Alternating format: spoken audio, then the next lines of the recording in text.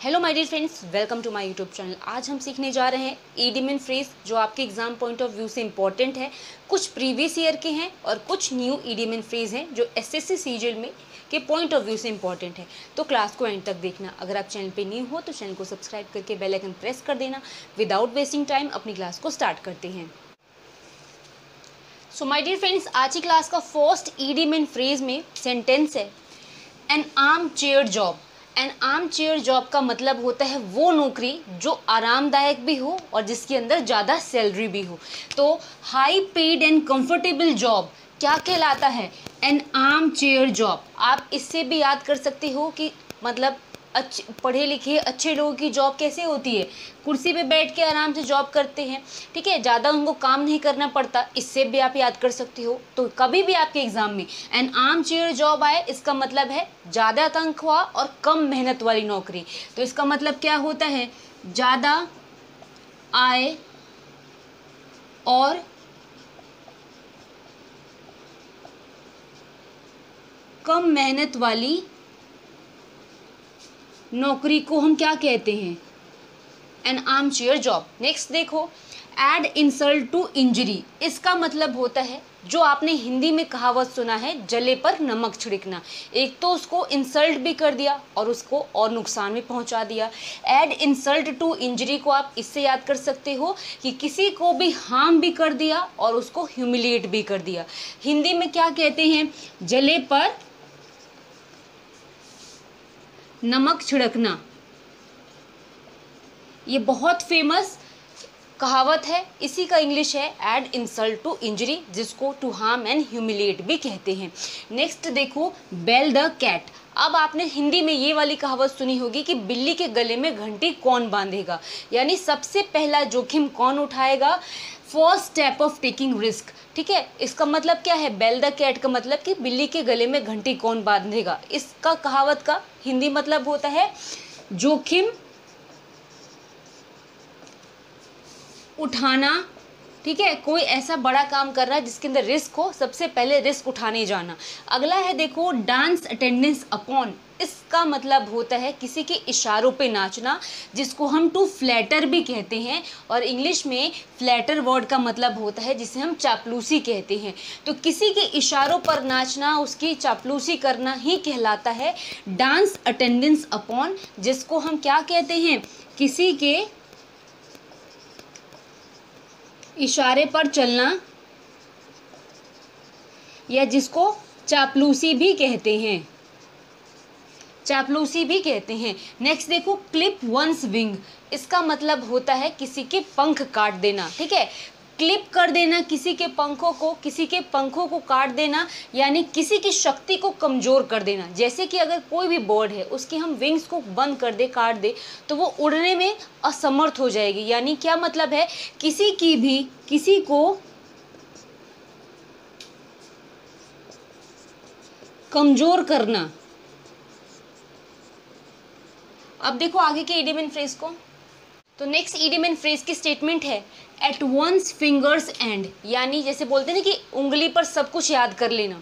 आपने देखा होगा कि कई लोग होते हैं ऐसे ऐसे करके याद करते रहते हैं। तो उससे आप याद कर सकते हो। एट वंस फिंगर एंड का मतलब है सब कुछ याद कर लेना। हर किसी के बारे में पूरी जानकारी होना। To have a complete knowledge इसको हम बोलते हैं।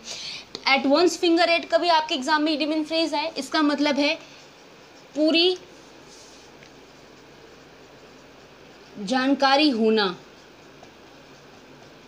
पूरी जानकारी होने को हम कहते हैं वंस फिंगर एंड नेक्स्ट है बैंडी वर्ड्स अगर कभी ये छोटा सा आए स्टेटमेंट बैंडी वर्ड्स इसका मतलब होता है एब्यूज़ यानी किसी को गाली देना। तो बैंडी वर्ड्स का मतलब टू एग्री नहीं होता टू एब्यूज़ होता है।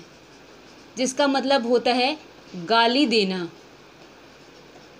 ठीक है? अगला वर्ड देखो बीट ब्लैक एंड ब्लू इसका मतलब होता है, पहले तो बीट का मतलब होता है मारना।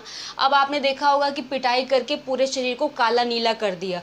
उससे भी आप याद कर सकते हो ब्लैक एंड ब्लू का मतलब बहुत ही ज़्यादा किसी को मारना बीटिंग मर्सीलेसली क्या कहलाता है? बीट ब्लैक एंड ब्लू मतलब बहुत पिटाई करना।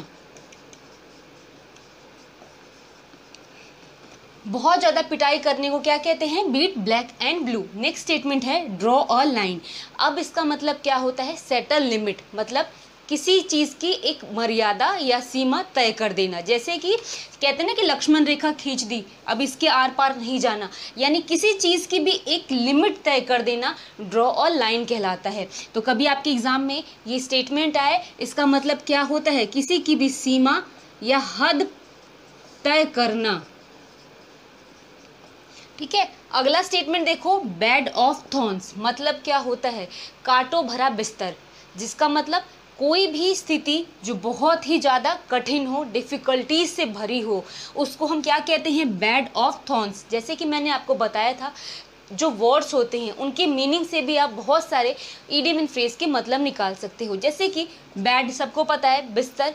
थॉर्न्स मतलब होते हैं कांटे। तो कांटों से भरा बिस्तर डिफ़िकल्टी वाली स्थिति को कहते हैं, जिसका मतलब क्या है?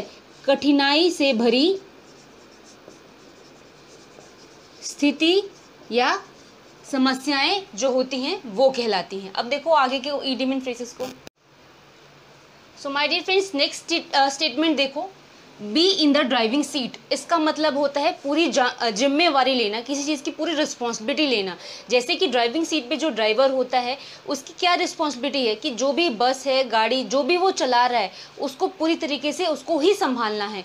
तो इसका मतलब क्या है? Be in the driving seat कभी ईडियम इन फ्रेज आए, इसका मतलब होता है पूरी जिम्मेवारी लेना। पूरी ज़िम्मेदारी लेना। ठीक है? अगला स्टेटमेंट है अ क्लोज फिस्टेड पर्सन इसका मतलब क्या होता है? फीस्ट क्या होता है? सबसे पहले देखो फीस्ट का मतलब होता है मुट्ठी, ठीक है? मुट्ठी बंद करके रहने वाला। जैसे कहते हैं ना कि मुट्ठी बंद करके रहना। मतलब पैसे ही कम खर्च करना। ज़्यादा पैसे ना, फिजूल खर्ची करना, कंजूसी करना। तो उन ऐसे लोगों को क्या कहते हैं? मिजरली पर्सन यानी कंजूस व्यक्ति को कहते हैं। अ क्लोज फिस्टेड पर्सन कहलाते हैं कंजूस। फ़ीस से आप याद कर सकते हो, जो होती है मुट्ठी। मुट्ठी बंद करके रहने वाले, जो पैसे ना खर्च करे, कंजूस को हम कहते हैं। अगला वर्ड है out of the blue out of the blue idiom phrase का मतलब है ओकेजनली जिसको हम कभी कभार कहते हैं। रेयरली ओकेजनली हम जिसको कहते हैं, जो चीज़ें कभी कभार हो। कभी कभार या कभी कभी वाली चीज़ें आउट ऑफ़ द ब्लू कहलाती है। नेक्स्ट स्टेटमेंट है white collar workers white collar workers वो वर्कर्स होते हैं जो स्किल्ड हो।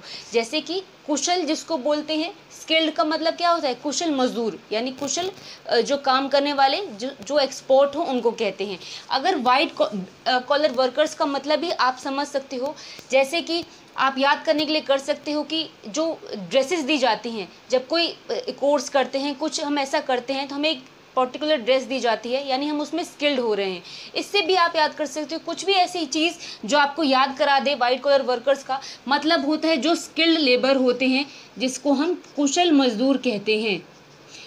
ठीक है? अगला वर्ड देखो hand in glove hand in glove का मतलब होता है वेरी क्लोज रिलेशन जिसको हम बिल्कुल नज़दीक के सगे संबंधी भी कह सकते हैं और बहुत घनिष्ठ भी कह सकते हैं। ऐसे जब हम ग्लव्स पहनते हैं अपने हाथ में तो हाथ और जो ग्लव्स होते हैं दोनों बिल्कुल चिपके हुए होते हैं। इससे आप याद कर सकते हो। हैंड इन ग्लव का मतलब क्लोज रिलेशन होता है मतलब बहुत ज़्यादा जो बहुत नज़दीकी जिसे हम कहते हैं।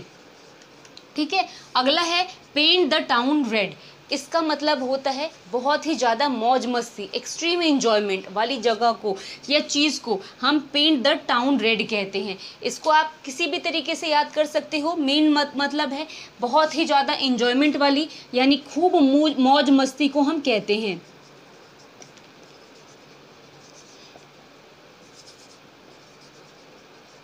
अब देखो आगे की इडिमिन फ्रेज अगला स्टेटमेंट देखो हैव ग्रीन आइज़ इसका मतलब होता है ईर्ष्यालु या जलने वाले लोगों के लिए हम कहते हैं, ठीक है?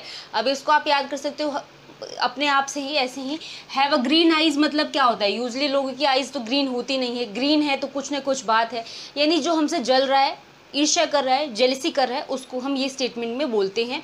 हैव अ ग्रीन आइज़ का मतलब क्या होता है? ईर्ष्यालु को बोलते हैं। जो जलने वाले होते हैं, उनको बोलते हैं। अगला है ब्राउन स्टडी। ब्राउन स्टडी का मतलब होता है day, state of day dreaming जिसका मतलब होता है सपनों में खोए रहना। ठीक है? मनगढ़ंत सपने सोचते रहना या सपनों में खोए रहना ब्राउन स्टडी कहलाता है। ठीक है? आपको याद करना होगा ब्राउन स्टडी का मतलब क्या है? सपनों में खोए रहना। नेक्स्ट स्टेटमेंट है piece of cake. Piece of cake का मतलब है बहुत आसान काम। जैसे कि केक को खाना बहुत इजी होता है, बहुत सॉफ्ट होता है तो इससे भी आप कर सकते हो। पीस ऑफ़ केक है, यानी बहुत आसान है। वेरी इजी टास्क मतलब बहुत आसान काम। कहलाता है पीस ऑफ़ केक नेक्स्ट है nuts and bolts nuts and bolts का मतलब है इंपॉर्टेंट पार्ट जैसे कि किसी भी मशीनरी को चलाने के लिए अगर उसके उसको हमें सही तरीके से चलाना है तो वो अच्छी तरीके से बनी हो. नट्स एंड बोल्ट्स की हेल्प से मशीन को तैयार किया जाता है, यानी इंपॉर्टेंट रोल प्ले करते हैं. तो नट्स एंड बोल्ट्स का मतलब है इंपॉर्टेंट पार्ट जिसका मतलब है महत्वपूर्ण हिस्सा. नेक्स्ट ईडी मिन फ्रेज देखो स्पिट ब्लड इसका मतलब है बहुत ही ज़्यादा गुस्सा. स्पिट ब्लड का मतलब है गुस्से में लाल होना, बहुत ज़्यादा गुस्सा होना एक्सट्रीमली एंग्री कहलाता है, जिसको हम कहते हैं बहुत गुस्सा होना. सो माय डियर फ्रेंड्स ये क्लास यहाँ पे फिनिश हो रही है। छोटी सी क्लास थी बट इंपॉर्टेंट थी। इसके अंदर बहुत सारे नए नए इडियम फ्रेजेस थे, जो एस एस सी के लिए इंपॉर्टेंट है। अगर आपको ये क्लास समझ में आई हो तो प्लीज़ वीडियो को लाइक कर देना। चैनल पर नहीं हो तो चैनल को सब्सक्राइब कर लेना। अब हम मिलेंगे अपनी नेक्स्ट क्लास में। तब तक के लिए थैंक्स फॉर वॉचिंग